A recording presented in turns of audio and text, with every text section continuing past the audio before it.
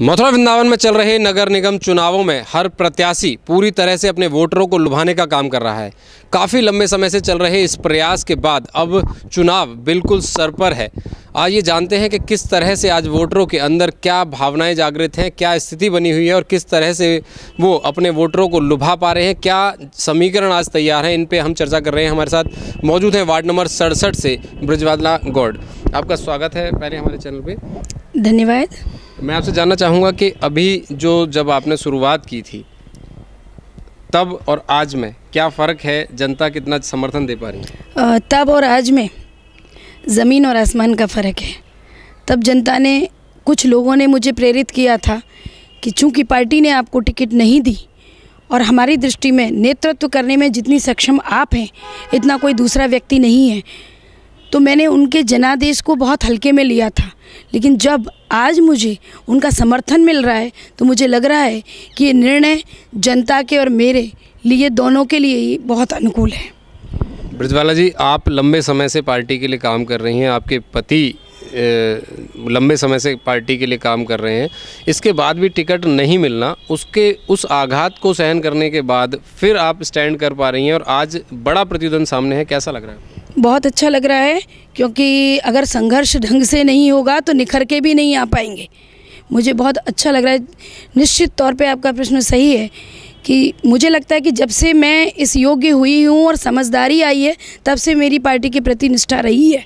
और तीस वर्षों से एक समर्पित कार्यकर्ता की तरह, एक निष्ठावान कार्यकर्ता की तरह मैं पार्टी के लिए काम करती रही हूँ और मेरे पति भी काम करते रहे हैं। अभी एक जो स्थिति समझ में आ रही है आपके सामने छः आपके वार्ड से प्रत्याशी हैं जिसमें से तीन मज़बूत पार्टियों से हैं जिसमें तीन निर्दलीय भी हैं।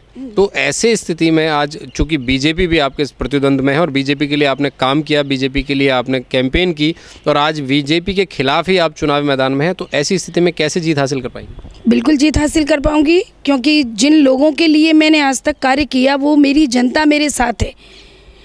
उनको पता है कि मैं उनकी बात को कितनी अच्छी तरह से शासन तक, प्रशासन तक पहुँचा सकती हूँ। मुझे, उन्होंने मुझे पहले भी विगत कार्यकाल में पाँच वर्षों तक देखा है और उसके आधार पर मुझे पूरा भरोसा है और इसी आधार पर मुझे समर्थन मिल रहा है और ये तो आपको वक्त बताएगा कि कि मुझे जनता का कितना भारी समर्थन प्राप्त है और आगे और जो सशक्त पार्टियाँ हैं, उनका क्या हश्र होगा। अब तक आपने पार्टी के चेहरे पे काम किया, अब अपने व्यक्तित्व पे काम करने जा रही हैं तो पार्टी पे आपका व्यक्तित्व कैसे हावी हो पाएगा? पार्टी पर मेरा व्यक्तित्व निश्चित तौर पे हावी हो पाएगा, क्योंकि एक मछली पूरे तालाब को भी गंदा कर देती है। कोई तालाब कितना भी अच्छा क्यों ना हो, अगर एक मछली उसमें अनुचित है, एक मछली है तो वो पूरा तालाब खराब हो जाएगा। तो ऐसे ही एक व्यक्ति अगर उस जगह से निकल के आता है तो उसका अपना व्यक्तित्व है ना। अगर वो गंदगी फैला सकता है तो वो सफ़ाई भी कर सकता है।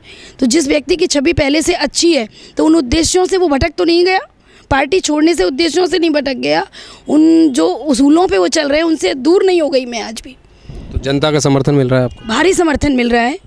मैं बहुत अभिभूत हूँ जनता के समर्थन से। कैसे अ, बीट कर पाएँगे आप बीजेपी के प्रत्याशी? बहुत अच्छी तरह से बीट कर पाऊँगी। पिछला कार्यकाल मेरा समर्पण मेरी निष्ठा जनता के प्रति उनके उनके बीच में गई हूँ जो पार्टी के जिस व्यक्ति प्रत्याशी को टिकट बीजेपी ने दी है। वो पहले बसपा में रहे आपको पता होगा फिर वो सपा में गए और अब उन्होंने अवसरवादिता दिखा के भारतीय जनता पार्टी में आ गए। तो इसको प्रत्याशी की बात खामियाँ मानेंगे या पार्टी की? मैं पार्टी की खामी भी मानूँगी कि जो समर्पित कार्यकर्ता है पार्टी के उसका सम्मान नहीं है। जो व्यक्ति इधर से उधर गया उसकी निष्ठा पे प्रश्न चिन्ह नहीं है। तीस वर्षों से मैं पार्टी में हूँ और मेरी निष्ठा पे प्रश्न चिन्ह लगा दिया गया। लड़ाई को लड़ते लड़ते लंबा समय हो गया है। प्रयास आप लोगों की तरफ़ से जारी है लेकिन अब चुनाव का विगुल फूकने के बाद में लगभग चुनाव वोटिंग होने को बिल्कुल तैयार है। ऐसी स्थिति में अब फ़िलहाल आप अपनी जनता को क्या भरोसा दिलाएँगे अगर आप चुनाव मैदान में लड़ती हैं जीत के आ जाती हैं तो? मैं पूरा भरोसा दिलाऊँगी कि जैसे मैंने पहले कार्यकाल में कार्य किया उससे भी अधिक समर्पण के साथ मैं उनके साथ खड़ी हूँ उनकी बात पहुँचाने को जो कुछ भी मुझसे बनेगा वो कार्य करने के लिए। और मुझे पता है मेरी जनता को मुझ पर पूरा भरोसा है। आपको जनता पे भरोसा है? बिल्कुल मुझे पूरा भरोसा है।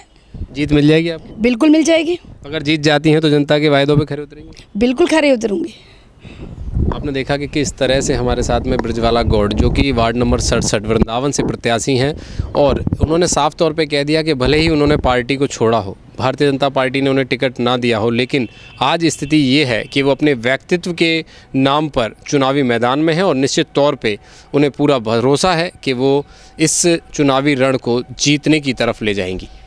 आप यूँ ही बने रहिए हमारे साथ समाचार सिटी 24 पर, हम यूँ ही हर मुद्दे के साथ आपके बीच बने रहेंगे।